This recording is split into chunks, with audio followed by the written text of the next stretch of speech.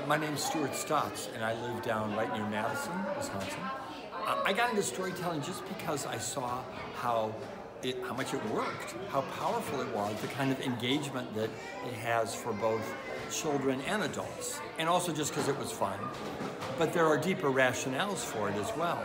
Uh, the way it feeds our sense of narrative and literacy, the way the sounds help with sequencing, um, the way it brings families together to share stories, the way it brings communities together, the way it helps us bridge divides when we know each other's stories.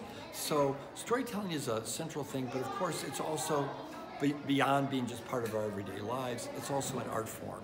And this festival is an opportunity to experience it not just as interaction and dialogue, but as a, a, an art form where people are bringing talent and skill and practice uh, in order to entertain, engage, and, and deeply touch the audience.